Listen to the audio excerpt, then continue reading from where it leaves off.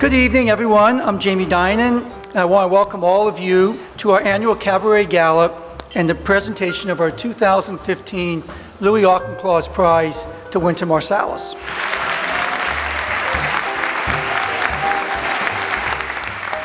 Thank you very much, I'm honored to be here. I'm honored for the warmth and graciousness that everybody greeted me with.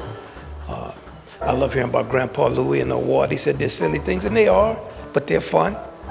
And um, I'm deeply honored to be a part of, even a small part of, of the, the mythology of New York City in any way.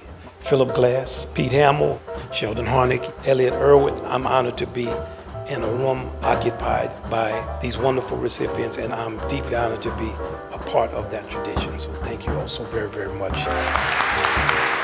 Ladies and gentlemen, the Essentially Ellington Alumni Orchestra under the direction of Todd Stoll, the Vice President of Education at Jazz at Lincoln Center.